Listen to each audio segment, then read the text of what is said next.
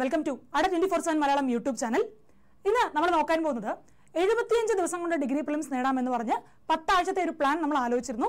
ആ പത്ത് പതിനൊന്ന് ആഴ്ചത്തെ ആ പ്ലാനിന്റെ ഏഴാമത്തെ ആഴ്ചത്തെ ദിവസമാണ് നമ്മൾ നോക്കാനായിട്ട് പോകുന്നത്. ഈ വരുന്ന ഒരാഴ്ച നിങ്ങൾ എന്താണ് പഠിക്കേണ്ടത്? അതിനകത്ത് എക്സ്ക്ലൂസീവ് ആയിട്ട് വരുന്ന കുറച്ച് ലിങ്കുകൾ കുറച്ച് പി ഡി എല്ലാം ഉണ്ട്. അതെല്ലാം നമ്മൾ കമ്മ്യൂണിറ്റിയിലേക്ക് അപ്ലോഡ് ചെയ്യുന്നതാണ്. എപ്പോഴും ചെയ്യുന്ന പോലെ തന്നെ നമുക്ക് എന്ത് ചെയ്യാം? നമുക്ക് വീഡിയോയിലേക്ക് കിടക്കാം. എന്തൊക്കെയാണ് ഈ ആഴ്ച പഠിക്കേണ്ടതെന്ന് നോക്കാം. ഓക്കെ യെസ് അപ്പോൾ നമ്മുടെ ഷീറ്റ് എടുത്തു വെച്ചിട്ടുണ്ട്. വീക്ക് സെവൻ ആണ് നമ്മൾ നോക്കാനായിട്ട് പോകുന്നത്. അപ്പോൾ ഹിസ്റ്ററി നമ്മൾ social political and social history of Kerala after nineteen fifty six എന്ന് പറയുന്നത് കാലിക്കറ്റ് യൂണിവേഴ്സിറ്റിയുടെ ഡിസ്റ്റൻസ് എഡ്യൂക്കേഷനിൽ ഒരു ബി എ ഹിസ്റ്ററി ടെക്സ്റ്റ് ഉണ്ട്. ഓക്കെ കണ്ടംപററി കേരള സാധാരണഗതിയിൽ നമുക്ക് വളരെ ബുദ്ധിമുട്ടാണ് ഈ Kerala history Kerala political history എന്ന് പറയുന്നത് കിട്ടാനായിട്ട്. ഇവൻ നമ്മൾ ശ്രീധരമേനോൻ സാറുടെ കേരള പൊളിറ്റിക്കൽ ഹിസ്റ്ററി എന്ന് പറയുന്ന political history of modern Kerala എന്ന് പറഞ്ഞ ബുക്ക് എടുത്ത് നോക്കിയാൽ പോലും അതിനകത്ത് നമുക്ക് തിരുവിതാംകൂറിലെയും കൊച്ചിയിലെയും മലബാറിലെയും സമ്മേളനങ്ങളെ പറ്റിയും അതുപോലെ തന്നെ ഐക്യ കേരള പ്രസ്ഥാനം വരെയുള്ള ആയിരത്തി തൊള്ളായിരത്തി എൺപത്തി ഏഴ് വരെയുള്ള കാര്യങ്ങളാണ് അതിനകത്ത് ഉള്ളത്. പക്ഷേ സിലബസിൽ നമ്മളോട് കൃത്യമായിട്ട് എന്ത് പറഞ്ഞിട്ടുണ്ട്? അൻപത്തി ആറിന് ശേഷമുള്ള political and social history of Kerala എന്ന് പറഞ്ഞിട്ടുണ്ട്. അപ്പോൾ അവിടെ വിമോചന സമരം വരും. അതുപോലെ കുറച്ച് ഇമ്പോർട്ടന്റ് ആയ ബില്ലുകളുണ്ട്. ഉദാഹരണത്തിന് ഇപ്പോൾ വിദ്യാഭ്യാസ ബില്ലുണ്ട്. ജോസഫ് മുണ്ടശ്ശേരിയുടെ വിദ്യാഭ്യാസ ബില്ല് കെ ആർ ഗൗരിയമ്മയുടെ അഗ്രികൾച്ചറൽ ബില്ല് അങ്ങനെ കുറച്ച് ബില്ലുകളുണ്ട്. അതുപോലെ തന്നെ എന്താണ്? നക്സലൈറ്റ് പ്രസ്ഥാനം കേരളത്തിൽ എങ്ങനെയാണ് വളർന്നത്? എന്താണ് അതിന്റെ വളർച്ച അതിന്റെ തളർച്ച അതുപോലുള്ള കുടുംബശ്രീയുടെ വളർച്ച തുടങ്ങി വിവിധ വിവിധ ഘടകങ്ങളിലുള്ള സാമൂഹികവും അതുപോലെ രാഷ്ട്രീയവുമായ കേരളത്തിൽ നടന്ന ഡെവലപ്മെൻസിനെ പറ്റിയുള്ള പഠനമാണ് ഇവിടെ നമുക്ക് പഠിക്കേണ്ടതായിട്ട് ഉള്ളത്. അപ്പോൾ അത് നമുക്ക് കിട്ടുന്ന എവിടുന്നാണ്? ഈ കാലിക്കറ്റ് യൂണിവേഴ്സിറ്റിയുടെ ഡിസ്റ്റൻസ് എഡ്യൂക്കേഷൻ ബി എ ഹിസ്റ്ററിയുടെ കണ്ടംപററി കേരള എന്ന് പറയുന്ന ടെക്സ്റ്റിൽ നിന്നാണ്. ഓക്കെ അപ്പോൾ അതിന് അവിടെ നമ്മൾ ശ്രദ്ധിക്കേണ്ട കാര്യം എന്ന് പറയുന്നത് ഈ പി ഡി എഫ് നമുക്ക് അവൈലബിൾ ആണ്. ഇത് ഞാൻ നമ്മുടെ കമ്മ്യൂണിറ്റിയിലേക്ക് ആഡ് ചെയ്ത് തരുന്നതായിരിക്കും. ഓക്കെ ഇനി ഇന്ത്യ നമ്മൾ കഴിഞ്ഞ തവണയും പഠിച്ചത് ഇൻഡിപെൻഡന്റ് ഇന്ത്യൻ ഹിസ്റ്ററിയിൽ നമ്മൾ പഠിച്ചത് ഇൻഡിപെൻഡന്റ് മൂവ്മെന്റ് ആൻഡ് മഹാത്മാഗാന്ധി എന്ന് പറയുന്ന ഭാഗം തന്നെയാണ്. അത് തന്നെയാണ് നമ്മൾ ഇത്തവണയും പഠിക്കുന്നത്. ഞാൻ പറഞ്ഞിരുന്നു കുറച്ച് വലിയ പോർഷനാണ് അതുകൊണ്ട് നമ്മൾ രണ്ടായിട്ട് ഡിവൈഡ് ചെയ്താണ് പഠിക്കുന്നത്. കഴിഞ്ഞ ആഴ്ച നമ്മൾ പകുതി പഠിച്ചു. അതിന്റെ ബാക്കി എന്ത് ചെയ്യുക? ഇത്തവണ പഠിക്കുക. കഴിഞ്ഞ ആഴ്ച തന്നെ നമ്മൾ പഠിച്ച് തീർത്തിട്ടുണ്ടെങ്കിൽ എന്ത് ചെയ്യുക? റിപ്പീറ്റഡ് ആയിട്ട് എന്ത് ചെയ്യുക? അതൊന്നുകൂടി വായിക്കാനും അതുപോലെ തന്നെ ഒന്ന് റിവൈസ് ചെയ്യാനും കൂടി എന്ത് ചെയ്യുക? ശ്രദ്ധിക്കുക. ഒരുപാട് ഒരുപാട് ചോദ്യങ്ങൾ വരുന്ന ഏരിയയാണ് ഇത്. ഈ നാഷണൽ മൂവ്മെന്റ് ആൻഡ് മഹാത്മാഗാന്ധി എന്ന് പറയുന്ന ഏരിയ ഓക്കെ ഇനി അടുത്ത വരുന്നത് എന്താണ്? U N and other international organisation. International world history നമ്മൾ ഇതോടുകൂടി അവസാനിപ്പിക്കുകയാണ് നമ്മുടെ അവസാനത്തെ ടോപ്പിക്കാണ് എന്ത്? U N O and international organisation. അത് നമ്മൾ വീണ്ടും എഗെയിൻ അവിടെ എങ്ങോട്ടാണ് പോകുന്നത്. ബ്രിട്ടാനിക്കയിൽ തന്നെയാണ് പോകുന്നത്. ബ്രിട്ടാനിക്കകത്ത് യു എൻ ഒ ആയിട്ടുണ്ട്. അല്ലാതെ നമ്മൾ ഇന്റർനാഷണൽ ഇൻസ്റ്റിറ്റ്യൂഷൻസ് നോക്കിയാൽ അതിനകത്ത് അതുപോലെ തന്നെ കിട്ടുന്നതാണ്. നമ്മൾ ജസ്റ്റ് ഗൂഗിളിൽ നോക്കി കഴിഞ്ഞാൽ നമുക്ക് എന്ത് ചെയ്യും? ബ്രിട്ടാനിക്കയുടെ പേജ് വരും. അതിനകത്ത് എല്ലാ കാര്യങ്ങളും എന്തുണ്ട് അതിനകത്ത് കൃത്യമായിട്ട് തന്നിട്ടുണ്ട്. ഓക്കെ ഇനി when coming to world geography world ജോഗ്രഫിയിൽ നമ്മൾ പഠിക്കുന്ന എന്താണ്? Oceans and its various movements and continents ഇതാണ് പഠിക്കുന്നത്. ബേസിക്കലി ഫണ്ടമെന്റൽസ് ഓഫ് ഫിസിക്കൽ ജോഗ്രഫിയിൽ ഞാൻ പറഞ്ഞതാണ്. നമുക്ക് ഓഷ്യനോഗ്രഫി എന്നൊരു ഏരിയ പഠിക്കാനുണ്ട്. നമ്മൾ ജിയോമോർഫോളജി കഴിഞ്ഞു ക്ലൈമറ്റോളജി കഴിഞ്ഞു we have reach the oceanography അതാണ് ഏകദേശം എന്ത്? ജോഗ്രഫിയുടെ ലാസ്റ്റ് പാർട്ട് എന്ന് പറയുന്നത്. ഫിസിക്കൽ ജോഗ്രഫി വേൾഡിന്റെ ലാസ്റ്റ് പാർട്ടാണ് ഇത് വരുന്നത്. ഈ ജിയോ സോറി ഓഷ്യനോഗ്രഫി എന്ന് പറയുന്നത്. അപ്പോൾ ഓഷ്യനോഗ്രഫി വരുന്നത് N C R T class eleven fundamentals of physical geography unit twelve and thirteen ആണ്. ഓക്കെ അത് കുറച്ച് കുറച്ച് ബുദ്ധിമുട്ടാണ് നമ്മൾ കറണ്ടിനെ പറ്റി പഠിക്കുന്നത്. എങ്ങനെയാണ് എന്താണ് കോൾഡ് കറണ്ട് വാം കറണ്ട് എങ്ങനെയാണ് അത് എങ്ങനെയാണ് നമ്മുടെ എക്കണോമിയെ സ്വാധീനിക്കുന്നത്? ഇങ്ങനെയുള്ള വിവിധ കാര്യങ്ങൾ കുറച്ച് ബുദ്ധിമുട്ടാണ് എന്ത് ചെയ്യുക? വളരെ ശ്രദ്ധിച്ച് പഠിക്കാൻ ശ്രമിക്കുക. ആദ്യമായിട്ട് വായിക്കുന്നവരാണെങ്കിൽ മനസ്സിരുത്തി വായിക്കാനായിട്ട് ശ്രദ്ധിക്കുക. ഒന്നോ രണ്ടോ തവണ വായിച്ചാലും തെറ്റില്ല. നമുക്ക് വരുന്ന ചോദ്യങ്ങൾ തെറ്റാതെ ഉത്തരം എഴുതാനായിട്ട് നമ്മളെ സഹായിക്കും. ഓക്കെ ആൻഡ് ദെൻ നമ്മൾ എങ്ങോട്ട് പോകണം agriculture minerals and industries and energy resources in India okay അപ്പോൾ ഇവിടെയാണ് നമ്മൾ എന്ത് ചെയ്യുന്നത്? പുതിയ ടെക്സ്റ്റ് നമ്മൾ ഇൻട്രൊഡ്യൂസ് ചെയ്യുകയാണ് അതായത് നമ്മുടെ ക്ലാസ് ട്വൽവിൽ നമുക്ക് എന്തുണ്ട്? ഇന്ത്യ പീപ്പിൾ ആൻഡ് ഇക്കണോമി എന്ന് പറഞ്ഞിട്ടൊരു ടെക്സ്റ്റ് ബുക്ക് ഉണ്ട്. ആ ടെക്സ്റ്റ് നമ്മൾ ഇതുവരെ എടുത്തിട്ടുണ്ടായിരുന്നില്ല. ക്ലാസ് നമ്മൾ ലെവനിലെ ഫിസിക്കൽ ജോഗ്രഫിയും അതുപോലെ ഇന്ത്യൻ ഫിസിക്കൽ എൻവയോൺമെന്റും ആണ് നോക്കിക്കൊണ്ടിരുന്നത്. ഓക്കെ ഇവിടെ എന്ത് വരുന്നുണ്ട്? ഈ class twelve India people and economy unit three land resource and agriculture അതുപോലെ തന്നെ എന്താണ്? India people and economy mineral energy resources കൃത്യമായിട്ട് കെ എസിന്റെ ചോദ്യങ്ങൾ എടുത്ത് നോക്കിയാൽ പോലും നിങ്ങൾക്ക് എന്ത് ചെയ്യാൻ പറ്റും? ഈ ടെക്സ്റ്റിൽ നിന്ന് അത് കണ്ടെത്താനായിട്ട് പറ്റും. വളരെ വളരെ വളരെ ഇമ്പോർട്ടന്റ് ആണ് എന്ത് ചെയ്യുക? ആ ടെക്സ്റ്റ് ഒന്ന് ഡൗൺലോഡ് ചെയ്ത് വെക്കുക. ഈ ബുക്കോ അല്ലെങ്കിൽ എന്ത് ചെയ്യുക? നമ്മുടെ കയ്യിലൊരു ബുക്ക് വാങ്ങി വെച്ചാലും നഷ്ടമില്ല എന്താണ് ഇന്ത്യയിൽ ചോദിക്കുന്ന. ഇപ്പോൾ ഉദാഹരണത്തിന് ചോദിക്കും കോപ്പർ മൈനുകൾ എവിടെയാണ്? അയൺ മൈനുകൾ എവിടെയാണ്? എന്താണ് ഇന്ത്യയുടെ പ്രൊഡക്ഷൻ ഇന്ത്യ ഏത് സ്ഥാനത്ത് നിൽക്കുന്നു? ഇത്തരം തുടങ്ങിയ എല്ലാ ചോദ്യങ്ങൾക്കും എവിടെയുണ്ട് ഉത്തരം? നമ്മുടെ ഈ ക്ലാസ് ട്വൽവിന്റെ ഇന്ത്യ പീപ്പിൾ ആൻഡ് എക്കണോമി എന്ന് പറയുന്ന എൻ സി ആർ ടിക്കകത്ത് ആൻസർ ഉണ്ട്. ഓക്കെ അപ്പോൾ അതും കൂടി നോക്കി വയ്ക്കാനായിട്ട് ശ്രദ്ധിക്കുക. ഇനി ഇനി നമ്മൾ കുറച്ചും കൂടി സോഴ്സുകൾ ഇല്ലാത്ത ഏരിയയിലേക്ക് കടക്കുകയാണ്. അത് ഇത്രയും കാലം ഞാൻ പറഞ്ഞൊക്കെ എൻ സി ആർ ടി നോക്കൂ അവിടെ നോക്കൂ ഇവിടെ നോക്കൂ എന്ന് പറയാൻ എളുപ്പമുള്ള സോഴ്സുകളായിരുന്നു ഓക്കെ ഹായ് ഗിരീഷ് ഹലോ സനോൺ ഓക്കെ ഇവിടെ എന്താണ് വരുന്നത്? ഇനി നമ്മൾ നോക്കുന്നത് കുറച്ച് ഏരിയാസ് എന്ന് പറഞ്ഞാൽ കുറച്ച് ഡ്രൈ ഏരിയാസ് ആണ്. ഡ്രൈ ഏരിയാസ് എന്ന് പറഞ്ഞാൽ റിസോഴ്സസ് അവൈലബിൾ അല്ലാത്ത ഏരിയാസ് ആണ്. അപ്പോൾ അതിനുവേണ്ടി നമ്മൾ എന്താ ചെയ്താൽ സർക്കാരിന്റെ വെബ്സൈറ്റുകൾ ക്രെഡിബിൾ ആയിട്ടുള്ള സോഴ്സസ് നമുക്ക് എന്ത് ചെയ്യാൻ പറ്റും? കണ്ടെത്താനായിട്ട് പറ്റും. കുറച്ച് സമയം എടുക്കുന്നത് കണ്ടെത്താനായിട്ട് നമ്മൾ കുറേ കുറച്ച് റിസർച്ച് ചെയ്തിട്ടാണ് നമ്മളിത് കണ്ടെത്തുന്നത്. നമ്മുടെ ടീം ഇരുന്ന് റിസർച്ച് ചെയ്തിട്ടാണ് ചെയ്യുന്നത്? ഈ വെബ്സൈറ്റുകൾ കണ്ടെത്തുന്നത്. അങ്ങനെ കണ്ടെത്തിയ വെബ്സൈറ്റുകളാണ് ഞാൻ ഇനി പറഞ്ഞു തരാനായിട്ട് പോകുന്നത്. ഒന്ന് Kerala transport system road water railway air എന്ന് പറയുന്നതാണ്. അത് നിങ്ങൾക്ക് കിട്ടുന്നത് ഇപ്പോൾ ഇവിടെ നമുക്ക് കാണാം അല്ലേ? ഒരു പേജ് ഉണ്ട് ഞാൻ ഓപ്പൺ ചെയ്തു തരാം ഇത് എല്ലാ രണ്ട് വർഷം കൂടുമ്പോഴും ഇക്കണോമിക് റിവ്യൂ എന്നൊരു സാധനം ഏകദേശം എല്ലാ വർഷവും ഇറക്കാറുണ്ട്. ഇക്കണോമിക് റിവ്യൂ എന്നൊരു സാധനം കേരള ഗവൺമെന്റ് പുറത്തിറക്കുന്നതാണ്. ബഡ്ജറ്റിനോടനുബന്ധിച്ച് ഇറക്കുന്നതാണ് കേരള ഇക്കണോമിക് റിവ്യൂ എന്ന് പറയുന്നത്. അത് ഫിസിക്കൽ ഇയറിലായിരിക്കും വരിക. Twenty twenty one twenty two twenty two twenty three അങ്ങനെയായിരിക്കും എന്ത് ചെയ്യുക? അത് പുറത്തിറക്കുക. അപ്പോൾ ഇതൊരു അഞ്ഞൂറ്റിൽ അഞ്ഞൂറിൽ പരം പേജുകളുള്ള വലിയൊരു ഡോക്യുമെന്റ് ആണ് കേരളത്തിലുണ്ടായ വളർച്ച. ഒരു വർഷം കൊണ്ടുണ്ടായ വളർച്ചയെ പറ്റിയും തളർച്ചയെ പറ്റിയുമുള്ള ഡോക്യുമെന്റ് ആണത്. അപ്പോൾ അത് മുഴുവൻ നമുക്ക് വായിക്കാനായിട്ട് പറ്റില്ല. ഇത് രണ്ടായിരത്തി പതിനാറിൽ അത്തരത്തിലുണ്ടാക്കിയ ഒരു ഡോ ഒരു പേജിന്റെ ലിങ്കാണ്. ഓക്കെ ഇതിനകത്ത് നോക്കിക്കഴിഞ്ഞാൽ നമ്മുടെ സിലബസ് എന്താണോ അത് പൂർണമായിട്ട് ഇതിനകത്തുണ്ട് എന്നാണ് അതിന്റെ ഗുണം.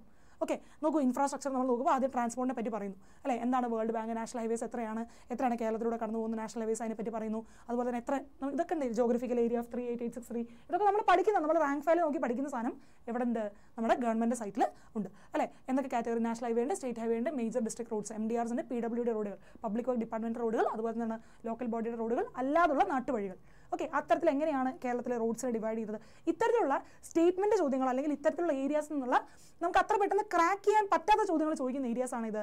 ഈ പറയുന്ന ഇക്കണോമിക്സിൽ വരുന്ന ഈ ഒരു ഏരിയ എന്നൊക്കെ പറയുന്നത്. കേരള ജോഗ്രഫിയിൽ വരുന്ന ഏരിയ എന്നും പറയുന്നത്. ആൻഡ് അതുപോലെ തന്നെ ഇപ്പോൾ നിങ്ങൾ നോക്കുകയാണെങ്കിൽ അത് മാത്രമല്ല ഇതിപ്പോൾ ട്രാൻസ്പോർട്ടിന്റെ പേജാണ് ഞാൻ എടുത്തത്. തൊട്ടിപ്പുറത്ത് തന്നെ നിങ്ങൾക്ക് എന്തുണ്ട്? Transport and infrastructure state road network infrastructure അതെടുത്ത് നമുക്ക് എന്ത് കിട്ടും? യെസ് അതിപ്പോൾ തുറന്നു വരും ഓക്കെ സ്റ്റേറ്റ് റോഡ് എന്താണ് കേരളത്തിലെ സ്റ്റേറ്റ് റോഡുകളുടെ അവസ്ഥ? അല്ലെങ്കിൽ എന്താ അത് ആരാണ് മെയിന്റെയിൻ ചെയ്യുന്നത്? അതെങ്ങനെയാണ് കൊണ്ടുവരുന്നത്? എങ്ങനെയാണ് അത് മുന്നോട്ട് കൊണ്ടുവന്നത് ministry of road transport and highways എത്രമാത്രം അതിനോട് സപ്പോർട്ട് ചെയ്യുന്നുണ്ട്? എത്രമാത്രം നമുക്ക് അതിന് കിട്ടുന്നുണ്ട്? അതായത് നമുക്ക് എത്രമാത്രമാണ് അതിന്റെ വകയിരുത്തൽ സെൻട്രൽ ഗവൺമെന്റ് വകയിരുത്തൽ. അതുപോലെ അതിന്റെ അപ്പൻഡിക്സിൽ കൃത്യമായിട്ട് എത്ര ശതമാനമാണ് ടോട്ടൽ ട്രാഫിക് വരുന്നത്? ഇതൊന്നും നിങ്ങൾ കാണാപ്പാടം പഠിക്കണം എന്നല്ല ഞാൻ പറയുന്നത്. പക്ഷേ എന്ത് വേണം?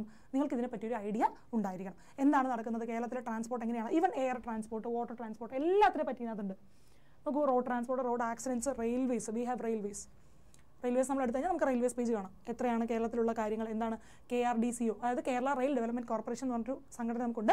അവരുടെ പ്രവർത്തനം എങ്ങനെയാണ് എന്താണ് ഇവിടുത്തെ ഒരു നമ്മുടെ സബർബൻ റെയിലിന്റെ കാര്യങ്ങൾ എങ്ങനെയാണ് അതുപോലെ എന്താണ് സബർബൻ റെയിൽ പ്രോജക്റ്റിനെ പറ്റിയിട്ട് കൊച്ചി മെട്രോനെ പറ്റിയിട്ട് phase one phase two phase three ഇതൊക്കെയാണ് എന്ത് ചെയ്യുന്നത്?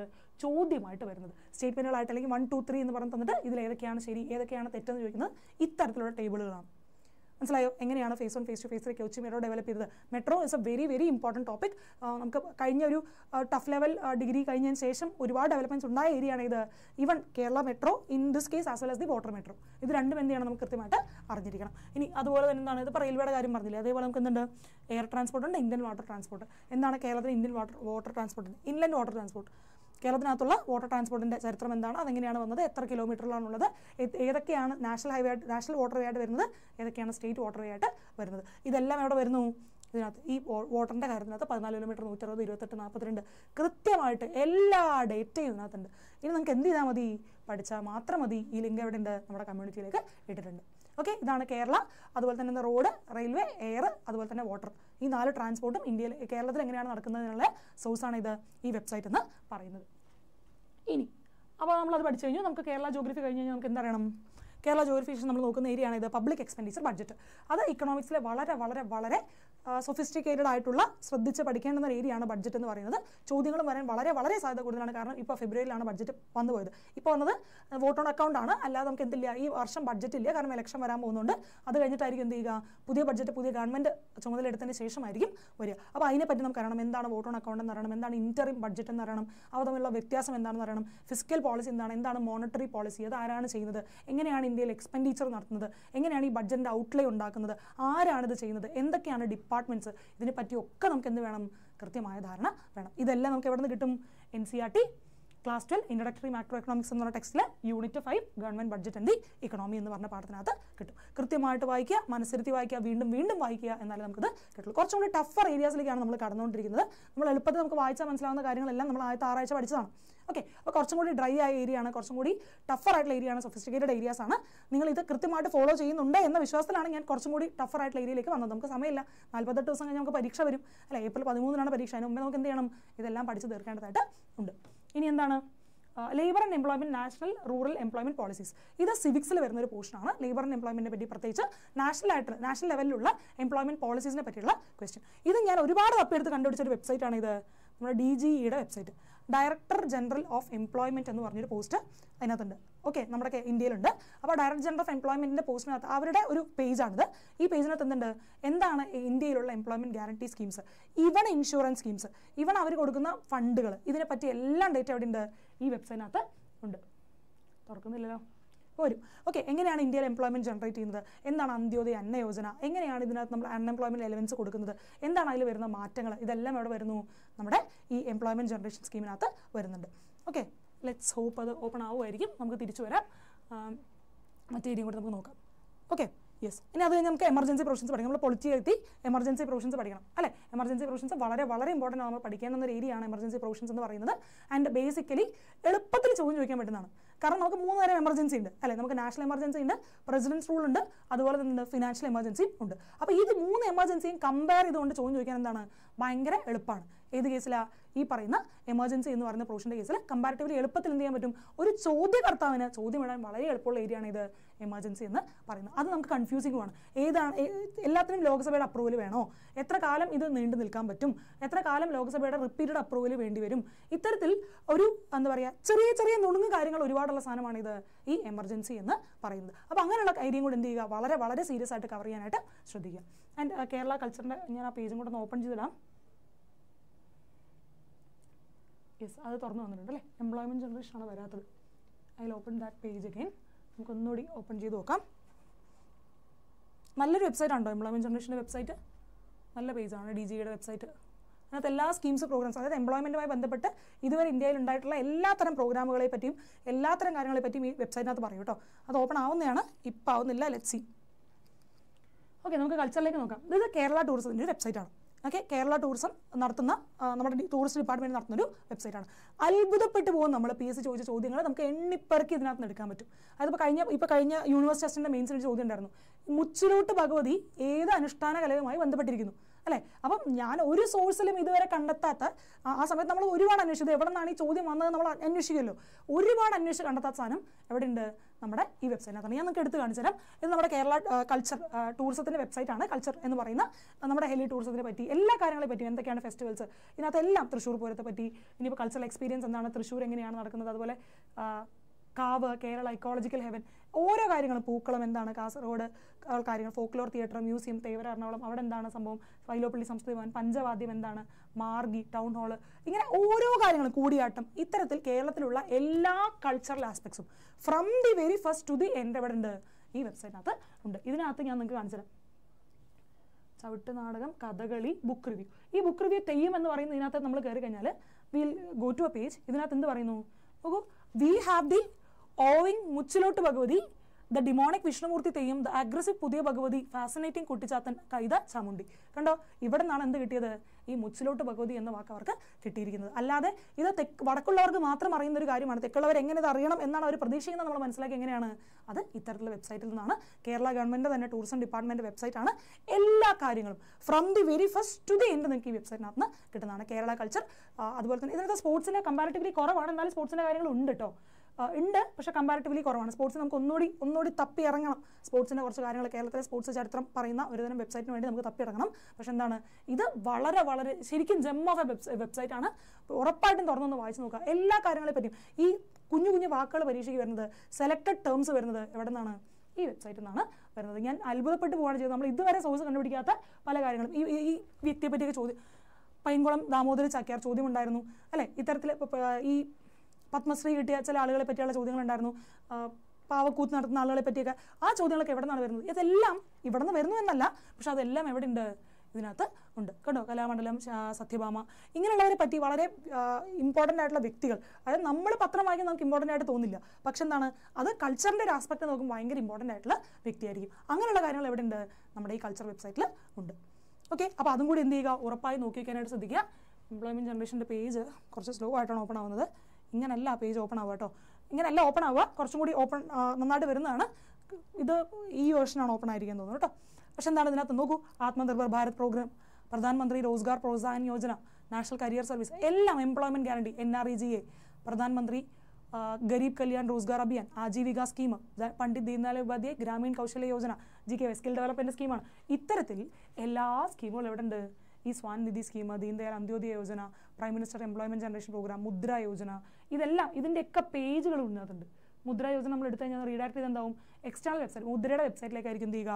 അവിടെ നമുക്ക് പോകാനായിട്ട് പറ്റുക. അപ്പോൾ ഇത്തരത്തിൽ നമ്മൾ ഓരോ എക്സ്റ്റേണൽ വെബ്സൈറ്റിലേക്ക് പോയില്ലെങ്കിൽ പോലും എന്ത് ചെയ്യുക?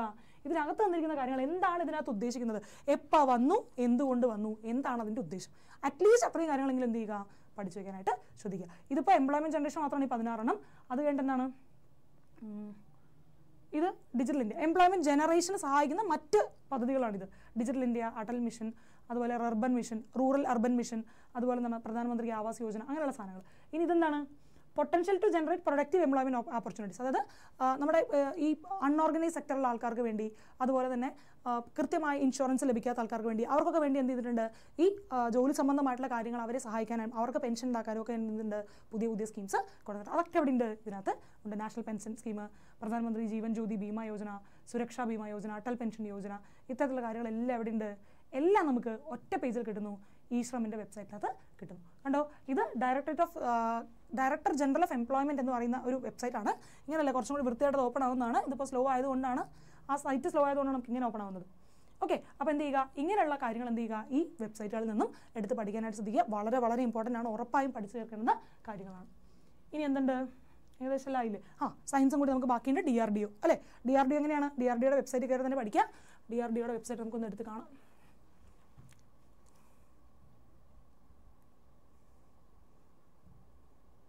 യെസ് ഡി ആർ ഡിയുടെ വെബ്സൈറ്റ് നമ്മൾ എടുത്തു കഴിഞ്ഞാൽ അതിനകത്ത് നമുക്ക് ബേസിക്കലി ഫ്രണ്ട് പേജിൽ തന്നെ കുറേ കാര്യങ്ങൾ കാണാനായിട്ട് പറ്റും. അതല്ലാതെ നമുക്ക് എന്ത് ചെയ്യാൻ പറ്റും? അതിനകത്ത് നമുക്ക് എക്സ്പോർട്ട് ക്വാളിറ്റി പ്രോഡക്ട്സ് ഇന്ത്യയിൽ ഉണ്ടാക്കുന്നുണ്ട്. അതായത് ഡിഫൻസ് സാധനങ്ങൾ നമ്മൾ സാധാരണഗതിയിൽ എപ്പോഴും പറയും അല്ലേ? ഡിഫൻസിന്റെ കാര്യങ്ങളെല്ലാം നമ്മൾ ഇമ്പോർട്ടാണ് ആണെന്ന്. അല്ലേ? ഇമ്പോർട്ട് മാത്രമല്ല നമുക്ക് കുറച്ച് എക്സ്പോർട്ട് ക്വാളിറ്റി പ്രോഡക്ട്സ് ഉണ്ട്. അപ്പോൾ അതിന്റെ കാര്യങ്ങൾ എവിടെ വരും? ഇതിനകത്ത് വരുന്നതാണ്.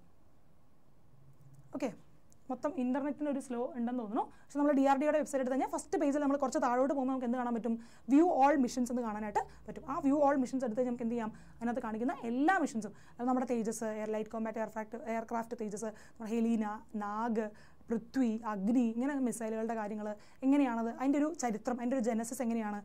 ഇതെല്ലാം നമുക്ക് എവിടെ കാണാൻ പറ്റും? അതിനകത്ത് കാണാനായിട്ട് പറ്റും. കേൾക്കുന്നില്ലേ? ആർക്കും കേൾക്കുന്നില്ലേ? ഓഡിബിലിറ്റിക്ക് പ്രശ്നമുണ്ടോ? കേൾക്കുന്നില്ലേ? സമീറ കമന്റ് ചെയ്തിരിക്കുന്നു കേൾക്കുന്നില്ല എന്ന് എല്ലാവർക്കും പ്രശ്നമുണ്ടോ? ഓഡിബിൾ അല്ലേ? I hope it is audible okay കേൾക്കുന്നില്ല. I think if you use a headphone you can hear it clearly എല്ലാവർക്കും പ്രശ്നമുണ്ടോ? Do everyone has a problem Girish പ്രശ്നമുണ്ടോ? ഓഡിബിൾ അല്ലേ? Okay I increase my volume for sure but കേൾക്കുന്നില്ല എന്നൊരു പ്രശ്നമുണ്ടോ എന്നാണ് ഞാൻ ചോദിക്കുന്നത്. ടെക്നിക്കൽ ആരും അറിയില്ലല്ലോ. എന്റെ ശബ്ദത്തിന്റെ കുറവുകൊണ്ടാണോ? Okay anyway this is the plan നിങ്ങൾ എന്ത് ചെയ്യുക? ഡി ആർ ഡിയുടെ വെബ്സൈറ്റും കൂടെ ഒന്ന് എടുത്ത് നോക്കാനായിട്ട് ശ്രദ്ധിക്കുക. ഓക്കെ അപ്പോൾ എൽ എസ് ജി സെക്രട്ടറിയുടെ നമ്മുടെ വീക്ക് സെവൻ ആണ് നമ്മൾ ഇന്ന് ഫിനിഷ് ചെയ്തത്. എല്ലാ വിഷയങ്ങളും നമ്മൾ എടുത്തിട്ടുണ്ട്. ആർട്ട് ആൻഡ് കൾച്ചർ നമ്മൾ സ്റ്റാർട്ട് ചെയ്തിട്ടുണ്ട്. നമ്മുടെ കമ്പ്യൂട്ടർ എന്ന് പറയുന്ന പോർഷൻ കഴിഞ്ഞിട്ടുണ്ട്. We have started Kerala culture and ഇതെല്ലാം എവിടെ വരുന്നുണ്ട്? നമ്മുടെ കമ്മ്യൂണിറ്റിക്കകത്താണ് എന്ത് ചെയ്യുന്നത്? ഇതെല്ലാം വരാനായിട്ട് പോകുന്നത്. നമ്മുടെ അഡ ടു ഫോർ സെവന്റെ ആപ്പ് ഡൗൺലോഡ് ചെയ്യുക. ആപ്പിനകത്ത് നിങ്ങൾക്ക് കമ്മ്യൂണിറ്റി കാണാനായിട്ട് വരും എങ്ങനെ കമ്മ്യൂണിറ്റി എടുക്കുക. ഒരുപാട് തവണ ഞാൻ പറഞ്ഞതാണ് എങ്ങനെയാണ് കമ്മ്യൂണിറ്റി എടുക്കുക എന്ന് എന്നാലും ഞാൻ ഒന്നുകൂടെ പറയാം എന്താണ് ചെയ്യുക നിങ്ങൾ ആപ്പ് ഡൗൺലോഡ് ചെയ്ത് കഴിയുമ്പോൾ ആപ്പിന്റെ ഫസ്റ്റ് പേജ് ഇങ്ങനെയാണ് വരിക. അതിനകത്ത് നിങ്ങൾക്ക് ഒരു ഹോം ഉണ്ട് അതിന്റെ അടുത്തുണ്ട് ഒരു കമ്മ്യൂണിറ്റി എന്ന് പറഞ്ഞിട്ടൊരു ടാബ് ഉണ്ട്. ആ കമ്മ്യൂണിറ്റി എന്ന് പറഞ്ഞ ടാബ് എടുത്ത് നിങ്ങൾക്ക് എന്ത് കാണാം? എക്സ്പ്ലോർ ഗ്രൂപ്പ് കാണാം. കണ്ടോ? ആ എക്സ്പ്ലോർ ഗ്രൂപ്പിലേക്ക് നിങ്ങൾ പോയി കഴിഞ്ഞാൽ നിങ്ങൾ എങ്ങോട്ടാണ് പോവാം ഇങ്ങനെ കുറേ പേരുടെ പേരുകൾ കാണും. നിങ്ങൾ സ്വൈപ്പ് ചെയ്ത് അറ്റത്തേക്ക് വന്നു കഴിഞ്ഞാൽ Nandini miss free P D F എന്നൊരു സാധനം നിങ്ങൾക്ക് കാണാൻ പറ്റും. അതിനകത്ത് എന്ത് ഇതിന്റെ വീക്ക് സിക്സ് വരെയുള്ള ഞാൻ അപ്ലോഡ് ചെയ്തിട്ടുണ്ട്. കുറച്ച് ലേറ്റ് ആണ് ഞാൻ അപ്ലോഡ് ചെയ്യുന്നത്. എന്നെ അപ്പോളജൈസ് ഫോർ ദാറ്റ് എനിക്ക് മെസ്സേജ് വന്നിരുന്നു. അനുശ്രീ ഒരുപാട് പേരുടെ മെസ്സേജുകൾ വന്നിരുന്നു. അത് കിട്ടിയില്ല എന്ന് പറഞ്ഞിട്ട്. ഓക്കെ യെസ് അപ്പോൾ എന്ത് ചെയ്യുക? ഞാൻ ഇന്ന് തന്നെ ഇപ്പം തന്നെ എന്ത് ചെയ്യാം? വീക്ക് സെവന്റെ അപ്ലോഡ് ചെയ്യാം. ഈ വെബ്സൈറ്റുകൾ കയറി നോക്കുക. എന്തെങ്കിലും സംശയങ്ങളുണ്ടെങ്കിൽ ഈ വീഡിയോയുമായി ബന്ധപ്പെട്ട് എന്തെങ്കിലും സംശയങ്ങളുണ്ടെങ്കിൽ എന്ത് ചെയ്യുക? വീഡിയോയുടെ താഴെ കമന്റ് ചെയ്യുക. ഓക്കെ യെസ് ബാക്കിയുള്ളവർക്ക് ഓഡിബിൾ ആണ് എന്ന് പറയുന്നുണ്ട് Sameera. I think it's the problem of your device okay let see അപ്പോൾ അതിനകത്ത് അപ്ലോഡ് ചെയ്തിട്ടുണ്ട്. എല്ലാം ഏഴാമത്തെ ആഴ്ചയുടെ പ്ലാനിങ് ഞാൻ അതിനകത്ത് അപ്ലോഡ് ചെയ്തിട്ടുണ്ട്. അപ്പോൾ എന്ത് ചെയ്യുക എത്രയും പെട്ടെന്ന് പഠിക്കാനായിട്ട് ശ്രദ്ധിക്കുക. നമ്മളൊരു ക്രാഷ് കോഴ്സ് ലോഞ്ച് ചെയ്യുന്നതിനെ പറ്റി ആലോചിക്കുന്നുണ്ട്. അല്ലെങ്കിൽ എന്ത് ചെയ്യുക ആപ്പ് ഡൗൺലോഡ് ചെയ്യുക മോക്ക് ടെസ്റ്റുകൾ എടുക്കുക ടെസ്റ്റ് സീരീസുകൾ എടുക്കുക ടെസ്റ്റ് ചെയ്ത് തുടങ്ങുക. ഇനി നമുക്ക് സമയമില്ല. നാൽപ്പത്തെട്ട് ദിവസമേ ഉള്ളൂ പരീക്ഷയ്ക്ക്. അമ്പത് ദിവസം നമുക്ക് പറയാം. ഈ അൻപത് ദിവസം കൊണ്ട് നമുക്ക് എന്ത് ചെയ്യണം? നമുക്ക് ആ പ്രിലിംസ് എക്സാം ക്ലിയർ ചെയ്യണം. മറ്റൊരു ഓപ്ഷൻ നമുക്കില്ല. ഉറപ്പായും ഉറപ്പായും നമുക്ക് എക്സാം ക്ലിയർ ചെയ്യണം. നമ്മൾ പ്രാക്ടീസ് ചെയ്യണം. നമ്മൾ പഠിച്ചിട്ടുണ്ട്. നമ്മൾ ഇപ്പോൾ ആറേഴ് ആഴ്ചയായിട്ട് പഠിക്കുന്നുണ്ടല്ലോ. ഇത് വെച്ചിട്ട് നമുക്ക് എന്തുമാത്രം ഉത്തരങ്ങൾ ചെയ്യാൻ പറ്റുന്നുണ്ട്? എത്രമാത്രം ക്വസ്റ്റ്യൻസ് അറ്റംപ്റ്റ് ചെയ്യാൻ പറ്റുന്നുണ്ട് എന്ത് ചെയ്യുക? നിങ്ങൾ നിങ്ങൾ തന്നെ ചെയ്ത് നോക്കി കണ്ടെത്താനായിട്ട് ശ്രദ്ധിക്കുക. ഓക്കെ അപ്പോൾ നമുക്ക് മറ്റൊരു വീഡിയോയിലൂടെ മറ്റൊരു ദിവസം കാണാം. കോഴ്സ് എടുക്കുമ്പോൾ മറക്കാതിരിക്കുക. വൈ സെവൻ ഫൈവ് സെവൻ ആണ് കോഡായിട്ട് വരുന്നത്. Okay so thank you thank you very much will meet in another video thank you